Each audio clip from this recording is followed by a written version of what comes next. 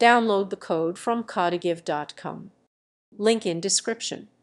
El curso instalando extensions en VSCode para JavaScript centre en mejorar la experiencia de desarrollo a través de la personalización del entorno de Visual Studio Code. Comienza con una introducción a la importancia de las extensions, que permiten editar funcionalidades específicas para facilitar la programación en JavaScript.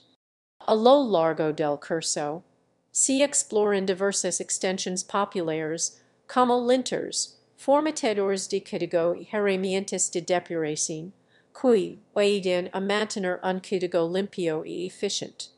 Los participantes aprenden a buscar, instalar y configurar extensions de manera efectiva, as como a gestionar las actualizaciones y desinstalaciones.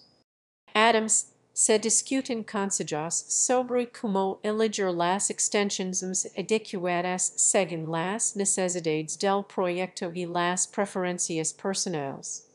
All finalizar el curso, los estudiantes están equipados con el conocimiento necesario para optimizar su entorno de trabajo y mejorar su productividad en el desarrollo de aplicaciones JavaScript.